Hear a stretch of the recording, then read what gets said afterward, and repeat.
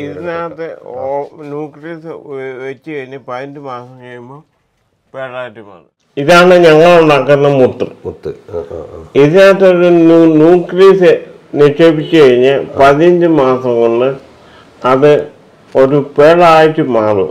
അപ്പൊ ഒരു കക്ക ശരിക്കും ഇങ്ങോട്ട് പറിച്ചെടുത്താൽ മൂവായിരത്തി അഞ്ഞൂറ് രൂപ നമുക്ക് കിട്ടും എന്ന് വേണമെങ്കിൽ പറയാം. ഓസ്ട്രേലിയ കിട്ടും. ആ ഓസ്ട്രേലിയ കിട്ടും. ഈ മുത്ത് നമ്മുടെ ശരീരത്തിൽ ഇതിന്റെ എഫക്റ്റ് ഉണ്ടാവും എഫക്റ്റ് ഉണ്ടായിക്കഴിഞ്ഞാൽ നമുക്കൊരു പ്രത്യേക മുത്തു ധരിക്കുന്നു ധരിച്ചു കഴിയുമ്പോൾ. ഇവർ അമാനുഷിക ശക്തി ഉണ്ടാവും അത് അങ്ങനെ ഉണ്ടാക്കുന്ന ഈ മോതിരം ഈ മോതിരം അതെ ഇപ്പൊ ഈ കൈമ്പ് കിടക്കുന്ന മോതിരം നമ്മുടെ പറമ്പിൽ എന്താ പറയാ നമ്മുടെ ആ ഒരു കൃഷിയിടത്തുനിന്ന് എടുത്ത ഒരു കക്കയിൽ നിന്ന് എടുത്ത ഒരു മുത്താണ് അല്ലെ? എത്ര വർഷമായിട്ട് ഈ ഒരു ഇത് ഉപയോഗിക്കുന്നുണ്ട്?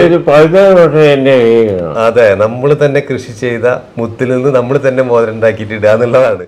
ഇനി ഇത് നമ്മൾ അടത്തിയെടുക്കുകയാണോ ചെയ്യാം? ഇതില്ല ഇത് ഇതേപോലെ തന്നെ കയറ്റിയേക്കാം അതെ.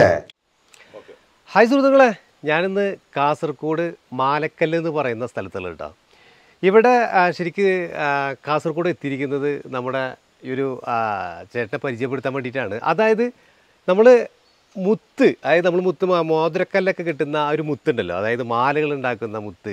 ആ മുത്ത് കൃഷി ചെയ്യുന്ന ഒരാളെയാണ് ഞാൻ ഇന്ന് പരിചയപ്പെടുന്നത് പലർക്കും ഒരു അത്ഭുതമായിട്ട് തോന്നും. കാരണം ഇത് കേരളത്തിൽ വേറെ ആരും ചെയ്യുന്നില്ല എന്നാണ് എനിക്ക് തോന്നുന്നത്. കേരളത്തിൽ നിന്നല്ല ഇന്ത്യയിൽ തന്നെ ആരും ചെയ്യുന്നില്ലല്ലോ അല്ലേ? ഇന്ത്യയിൽ ആരും ചെയ്യുന്നില്ലല്ലോ? ഇല്ല. അപ്പോൾ ആ ഒരു മുത്ത് കൃഷിയാണ് ഇവിടെ നടക്കുന്നത്. മുത്ത് നമ്മുടെ വീട്ടിൽ തന്നെ ഉണ്ടാക്കിയിട്ട് അതായത് കക്കയിൽ നിന്ന് മുത്ത് നമ്മുടെ പറമ്പിൽ എടുത്തിട്ട് അത് പുറം രാജ്യങ്ങളിലേക്ക് ഇവിടുന്ന് സെയിൽ ചെയ്യാണ് ഇപ്പോൾ ഇവിടെ നടന്നുകൊണ്ടിരിക്കുന്നത്. അപ്പോൾ ഞാൻ ചേട്ടനെ പരിചയപ്പെടുത്താൻ എന്താണ് പേരെന്താണ്? എന്റെ മാത്തച്ഛൻ. മാത്തച്ഛനല്ലേ ചേട്ടന്റെ സംസാരത്തിലൊരു ചിലർക്ക് മനസ്സിലാക്കാം. എന്നാലും കൂടിയിട്ട് ആദ്യം തന്നെ പറയാണ് എന്താണ് അങ്ങനെ സംസാരിക്കുന്നത് തോന്നണ്ട ചേട്ടന്റെ ഒരു സ്ട്രോക്ക് വന്നിട്ടായിരുന്നു അല്ലേ? ഏഹ് അപ്പോൾ അതിനുശേഷം സംസാരം നമുക്ക് മനസ്സിലാവട്ടാ. ഞാൻ പറഞ്ഞു മാത്രം ജന്മനാൽ ഇങ്ങനെ ആയിരുന്നില്ല എന്നുള്ളത് അല്ലേ? സാറ് എന്തായാലും മുന്നേ ചെയ്തിട്ടുണ്ടായിരുന്നത്? ഞാൻ നേരത്തെ പഠിച്ച ചൈനയിൽ പഠിച്ച ഏഹ് ചൈന ഇത് പഠിച്ച ചൈനയിൽ കുറിച്ച് ആയിരത്തി തൊള്ളായിരത്തി എൺപത്തി രണ്ടിൽ ചൈനയിൽ പഠിച്ച ആയിരത്തി തൊള്ളായിരത്തി എൺപത്തി എൺപത്തിരണ്ടിൽ. അപ്പോൾ ആയിരത്തി തൊള്ളായിരത്തി എൺപത്തിരണ്ടിന് മുതൽ തന്നെ ഈ ഒരു കക്ക കൃഷിയുമായിട്ടുള്ള പഠനങ്ങൾ ഞാൻ ആയിരത്തി തൊള്ളായിരത്തി തൊണ്ണൂറ്റൊമ്പതാണ് കൃഷി തുടങ്ങുന്നത്. അതുവരെ പഠി- പഠിപ്പിച്ചു ആ പഠിപ്പിച്ചുകൊണ്ടിരിക്കരുതോ ചൈനയിലായിരുന്നു. അത് ശരി. ആ പ്രൊഫസറാണ് അല്ലേ? അപ്പോൾ ഒരുപാട് കോളേജുകളൊക്കെ പ്രൊഫസറായിരുന്നു അല്ലേ? ഓക്കെ. അപ്പോൾ സാറ് തന്നെ കണ്ടുപിടിച്ച ഒരു സംഭവമാണ്. കണ്ടുപിടിച്ചെന്ന് പറഞ്ഞാൽ നമ്മുടെ കേരളത്തിൽ ഇത് ഇന്ത്യയിൽ വേറെ എവിടെ ഇല്ലല്ലോ? ഇല്ല. ന്യൂക്ലിയസ് പേഡ് ഫാമിംഗ് ആണ് ഇതിന്റെ പേര്. ഇതിന്റെ പേര്. ആഹാഹാ. ഇത് വേറെ സംഭവമായിട്ട് അതായത് കക്കയുടെ ആ ഉള്ളിൽ വെച്ചിട്ട് ശരിക്കും നമ്മൾ ആ മുത്ത് ഇവിടെ തന്നെ പറമ്പിൽ ഉണ്ടാക്കിയിട്ട് ശരിക്കും കേരളത്തിൽ ഇന്ത്യയിലെ കൊടുക്കുന്നില്ല. അത് എവിടേക്കാണ് ശരിക്കും പോണത് ഈ കക്കയൊക്കെ? ഓസ്ട്രേലിയ. ഓസ്ട്രേലിയക്ക്. ഓസ്ട്രേലിയക്കാണ് കയറി പോകുന്നത് ഈ പറമ്പിൽ തന്നെ കൃഷി ചെയ്യുന്ന ആ ഒരു സംഭവങ്ങളാണ് നമ്മുടെ ഇന്നത്തെ ഒരു വീഡിയോ. ഇത് ശരിക്ക് ഇതിൽ എത്ര കക്ക ഉണ്ടാക്കുന്നുണ്ട്? ആയിരത്തി അഞ്ഞൂറ് ആയിരത്തഞ്ഞൂറ് കക്ക ഈ ഒരു ഈ ഒരു ചെറിയ ടാങ്കിന്റെ ഉള്ളിൽ. ഇതിനെ വളർത്തുന്നത് ഇങ്ങനെയാണ്. ആ ഇതെങ്ങനെ വളർത്തുന്നത്? ചെറിയ രീതിയിൽ മഴ പെയ്യുന്നുണ്ട് കേട്ടോ ഇന്നലെ നമുക്ക് കാണാം. ഇങ്ങനെയാണ് ഇത് വളർത്തുന്നത്. എന്താ? ആ ആ കുറച്ചുകൂടി പൊക്കാൻ പറ്റുമോ? നമുക്കൊന്ന് കാണാൻ ആ ഒരു കക്ക ഒന്ന് നമുക്ക് കാണിച്ചെടുക്കാൻ പറ്റും ആ ഇതിന് മുകളിൽ വെക്കാൻ പറ്റില്ല അല്ലേ ആ അന്നൊന്ന് മുകളിൽ വെക്കാൻ പറ്റും അപ്പൊ അതെ ആ ആ, പോവും. അങ്ങനെ മുകളിൽ വെക്കാൻ പറ്റും. ഫുൾ ടൈം വെള്ളത്തിൽ വേണമല്ലേ അപ്പൊ ഇതിൽ ഒന്ന് രണ്ട് മൂന്ന് നാല് അഞ്ചെണ്ണോ? അഞ്ച് ഏഴെണ്ണം.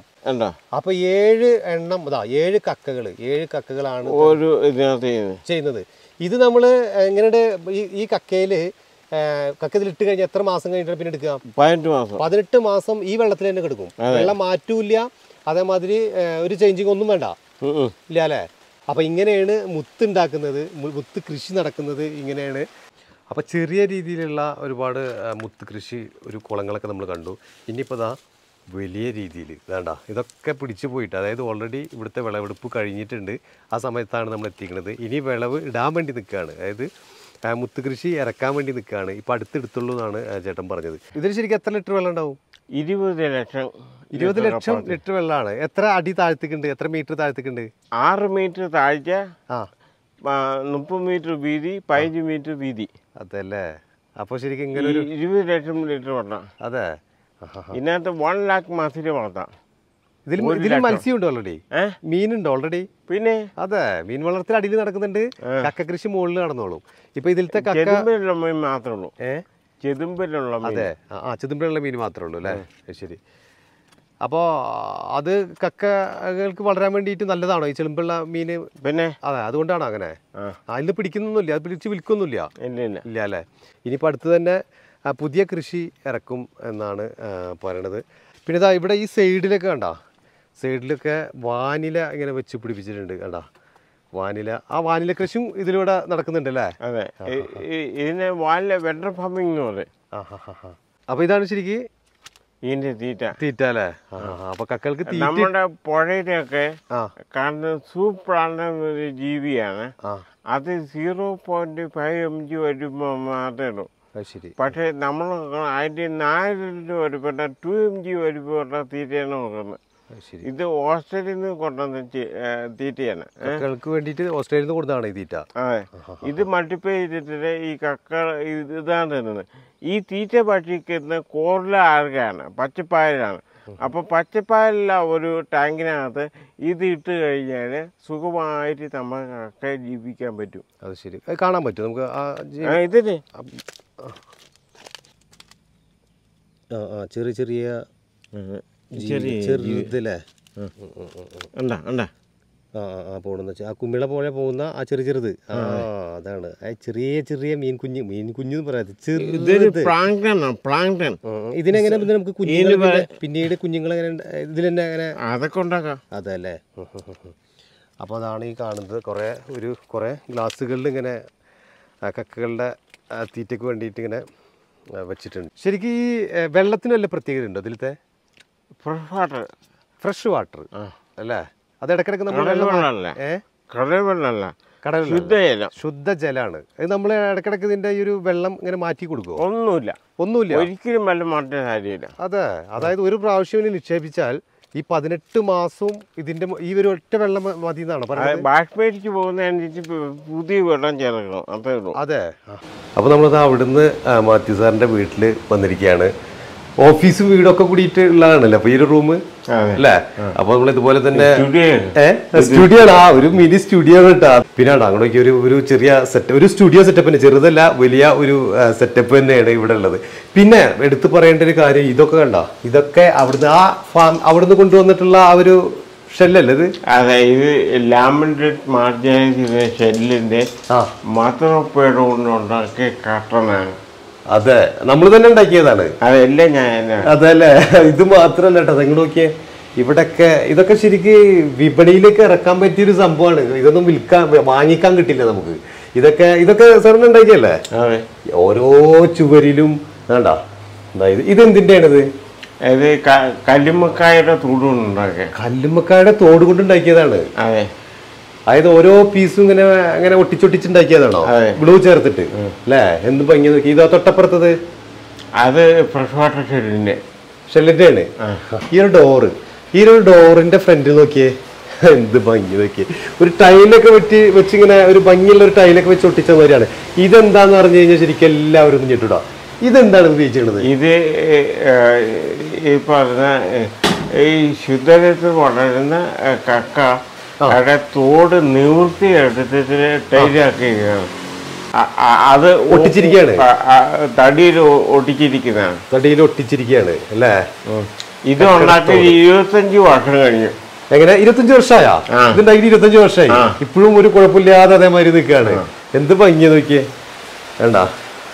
കക്കട തോട് നിവർത്തിയിട്ട് ഒട്ടിച്ച് വെച്ചതാണെന്ന് പറയുന്നത്. അപ്പോൾ ആ വീടിന്റെ ഫ്രണ്ടിൽ തന്നെ ആ ഒരു കക്കത്തോട് ഉണ്ടാക്കിയ ആ ഒരു ഡോറ് നമുക്ക് കാണാം. ഇങ്ങോട്ട് നോക്കി കഴിഞ്ഞാൽ ഇതാ ഇവിടെയും അതുപോലെ തന്നെ. ഇതെന്താണ് ശരിക്കും? അത് കല്ലുമുക്കായുടെ തോടാണ് കല്ലുമുക്കായുടെ തോടാണ്. പിന്നെ അത് മരത്തിൽ ഫ്രെയിം ഫ്രെയിം ചെയ്ത് അങ്ങനെ വെച്ചിരിക്കുകയാണ് അല്ലേ? ഇവിടുന്ന് അങ്ങോട്ട് മുകൾക്ക് നോക്കുകയാണെങ്കിൽ ഇതോ? അത് കല്ലുമുക്കായുടെ തോടും. കല്ലുമുക്കായുടെ തോടാണ്. ഇതൊക്കെ ഉണ്ടാക്കിയിട്ട് വർഷങ്ങളോളായോ? പിന്നെ എനിക്ക് പത്ത് ഇരുപത്തി വർഷമായി അതെ പത്തിരുപത്തഞ്ച് വർഷമായിട്ടുണ്ടല്ലേ അവിടെ അവിടുന്ന് ഇങ്ങോട്ട് നോക്കി ഇവിടെ ഒരു സംഭവം കാണുന്നുണ്ട്. ഇത് ചെറിയ കല്ലുമുക്കായോ അല്ല അത് ഒരു കക്കയാണ് കടൽ കക്കയാണ്. അത് നമ്മൾ പറിച്ചു കൊടുത്തിട്ട് ഇതേമാതിരി ഫ്രെയിം ഇട്ട് ചെയ്തിരിക്കുകയാണ്. അപ്പൊ കക്കകളുടെ ഒരു വലിയ എന്താ പറയാ പരീക്ഷണങ്ങൾ തന്നെ ഇവിടെ നടന്നിട്ടുണ്ട് എന്നുള്ളത് ഇവിടെ വന്നു കഴിഞ്ഞാൽ അറിയാൻ പറ്റും. വർഷങ്ങളോളായിട്ട് ഇതിന്റെ ഒരു ബാക്കിൽ തന്നെയാണ്. ദുബായിലെ ട്വന്റി ത്രീ എങ്ങനെ? ദുബായ് ട്വന്റി ട്വന്റി ആ. എക്സിബിഷൻ ഇതൊക്കെ പ്രദർശിപ്പിച്ചിട്ടുണ്ട്. അതെ നമ്മുടെ ഇന്ത്യൻ പവലിയനിൽ ഉണ്ടായിരുന്നോ അതെ. ശരി ശരി. ഇത് ഉണ്ടാക്കിയത് എന്തുകൊണ്ടാണ്? ശരിക്കും നല്ല കളർഫുൾ ആയിട്ടുണ്ട് ഇതൊക്കെ കളറുകൾ. ഇതും ഇതുപോലെ തന്നെ തോടാണ്. കക്കത്തോടാണോ? ഇതും കക്കത്തോടാണ്. അത് കല്ലുമുക്കാരുടെ വീടാ കല്ലുമ്മക്കായുടെ തോടുകൊണ്ട് ഒരു കബോർഡ്. ഇവിടെ നോക്കിയേ. അല്ലേ എന്ത് ഭംഗി. അപ്പൊ വീട്ടിൽ ഓരോ ഭിത്തിയിലും ഒരുപാട് സംഭവങ്ങൾ ഇങ്ങനെ ഉണ്ടാക്കിയിട്ടുണ്ട്. ശരിക്കും ഇതിന്റെ ബാക്കിൽ എത്ര വർഷമായിട്ടുണ്ട് ഞാൻ ആയിരത്തി തൊള്ളായിരത്തി എൺപത്തി എൺപത്തി രണ്ടിൽ ഈ ചൈനയിലെ ജുഗു ഫോൺസിലെ. എഫ് എഫ് ആർ സി യൂണിവേഴ്സിറ്റിയിൽ നിന്നാണ് ഇതെല്ലാം പഠിച്ചത് അത് ശരി. ആ ആ ആ ആ അവിടെ തായ്വാൻകാര് ചൈനക്കാര് ഇന്തോനേഷ്യക്കാര് എല്ലാം ഇൻസ്റ്റിറ്റ്യൂട്ടിൽ പഠിക്കുന്നുണ്ട്. ഇതാണ് ഞങ്ങൾ ഉണ്ടാക്കുന്ന മുത്ത്. മുത്ത്. ഇതിനകത്തൊരു ന്യൂ- ന്യൂക്ലിയസ് നിക്ഷേപിച്ചു കഴിഞ്ഞ് പതിനഞ്ച് മാസം കൊണ്ട് അത് ഒരു പേടായിട്ട് മാറും. അത് ശരി. ഇങ്ങനെ ഉണ്ടാക്കുന്ന ഇങ്ങനെ ഉണ്ടാക്കുന്ന കക്കകളാണ് ഓറിയന്റൽ പേർ എന്ന് പറഞ്ഞത് ഇത് ബഫ് ചെയ്ത് കഴിഞ്ഞാൽ നല്ല നിറമുണ്ടാവും. ഇത് ബഫ് ചെയ്ത് കഴിയുമ്പോൾ ഇതേ കളർ കിട്ടും. ശരി. അടിപൊളി. ഇതേ കളർ വരും അല്ലേ ഗ്ലേസിങ് അല്ല ബഫ് ചെയ്യാതിരിക്കുമ്പോൾ ഇങ്ങനെ കളറാവും. ഇത് ബഫ് ചെയ്യണമെങ്കിൽ ഇതിന്റെ മോയിസ്റ്റർ കണ്ടന്റ് നാല് ശതമാനം വേണം. നാല് ശതമാനം ഉണ്ടെങ്കിൽ മാത്രമേ ബഫ് ചെയ്യാൻ പറ്റൂ. അപ്പൊ അപ്പോൾ ഇത് നമ്മൾ കുറച്ച് നാൾ സൂക്ഷിച്ച് വെച്ചപ്പോൾ അവർ ലാബുകാര് ഇതിന്റെ ടെസ്റ്റ് ചെയ്തിട്ട് മോയിസ്റ്റർ കണ്ടന്റ് ഫോർ പെർസെന്റ് ആയി കഴിഞ്ഞാൽ ഇത് ബഫ് ചെയ്യും. ബഫ് ചെയ്ത് കഴിയുമ്പോൾ നല്ല ഇതേ ആ. ഇങ്ങനെ തിളക്കത്തിൽ വരും. ഇത് ഇത് ഇത് അതെ.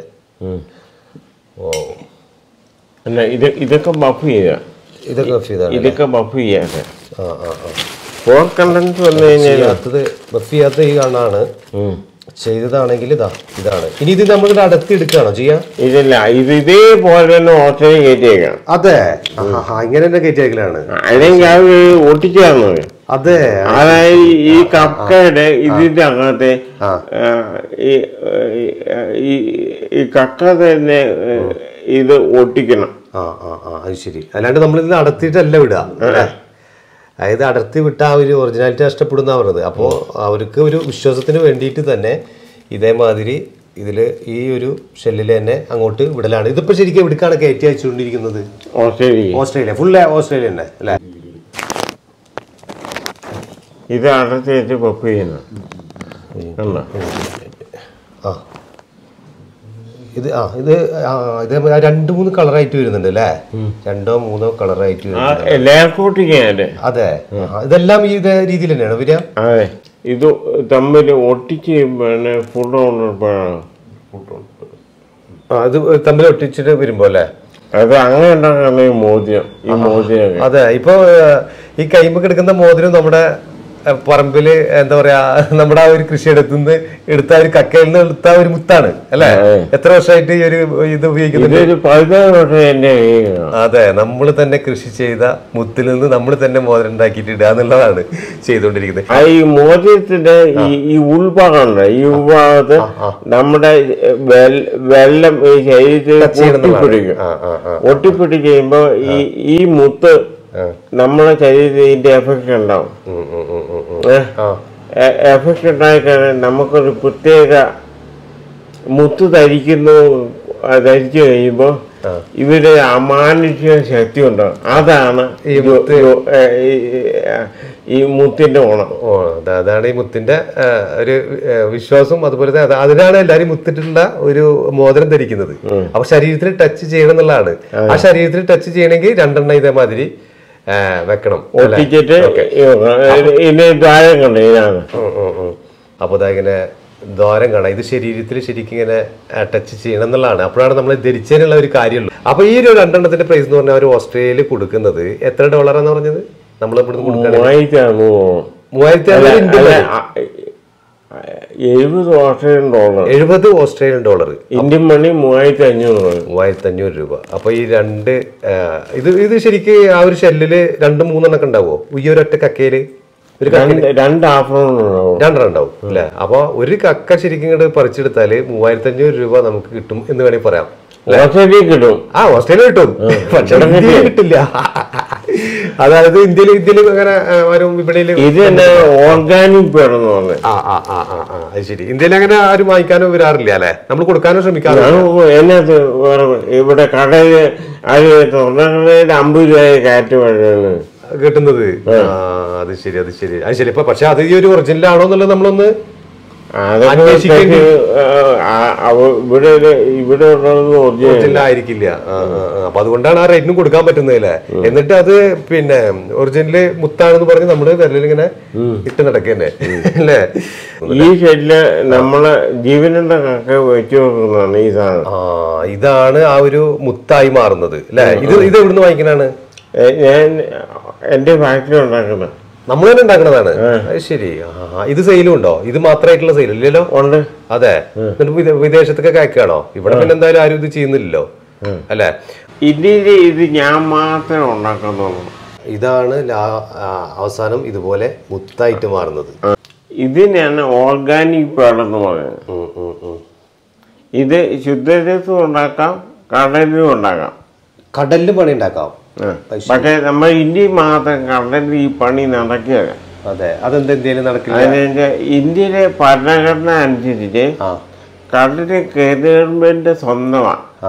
അത് വാടകയ്ക്ക് കൊടുക്കാൻ മുക്കന്മാർക്ക് മീൻ പിടിക്കേണ്ട അവകാശം മാത്രമേ ഉള്ളൂ. അത് ശരി. അത് കൃഷി നടക്കാൻ ഇന്ത്യ ഗവൺമെന്റ് അനുമതി അനുമതിയില്ല അതുകൊണ്ട് നമുക്ക് കരയിൽ മാത്രമേ മുതുകൃഷി ചെയ്യാൻ പാടുള്ളൂ. ഇന്ത്യൻ ഭരണഘടന അനുസരിച്ച്.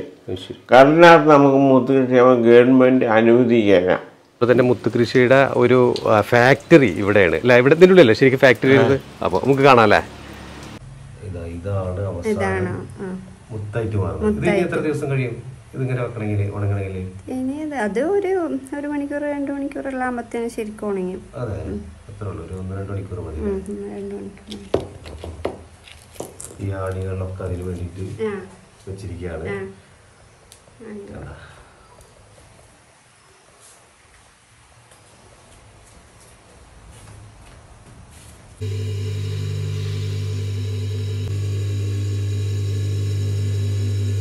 അപ്പൊ ഇങ്ങനെ ബഫ് ചെയ്തെടുക്കും. അതോട് കൂടിയിട്ട് കഴിഞ്ഞു. പിന്നെ ഷെല്ലിൽ വെക്കാം. മറ്റേ കക്കയിൽ വെക്കാണല്ലേ വെക്കും അതിൽ നിന്ന് അടർത്തിയെടുക്കും അതായത് അടർത്തിയെടുത്തിട്ട് പിന്നെ വേറെ ഒന്നുമില്ല അത് പിന്നെ ഇനി അത് കക്കയിൽ വെക്കുകയാണ് അല്ലേ?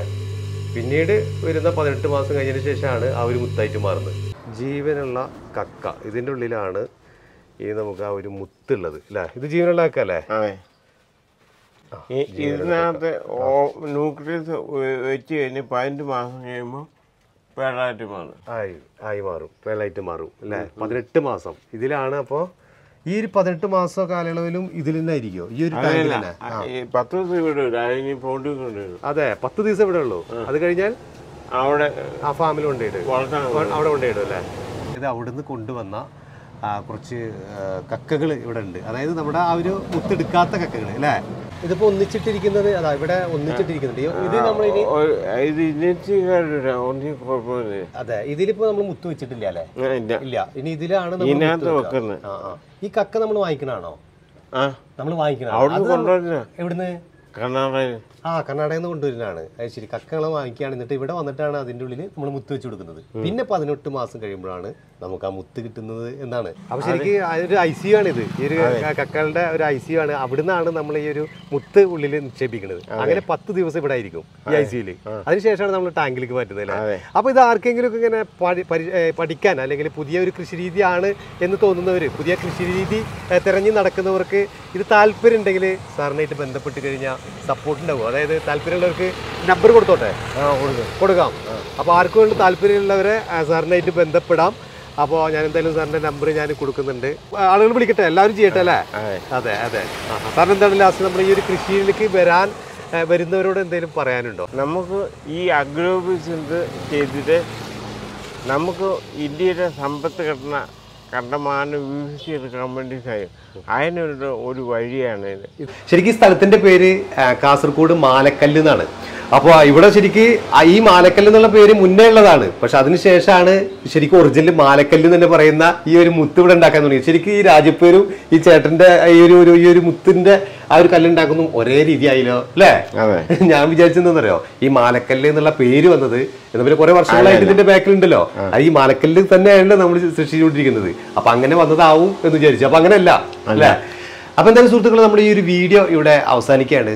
മറ്റൊരു വീഡിയോയുമായിട്ട് വീണ്ടും കാണാം.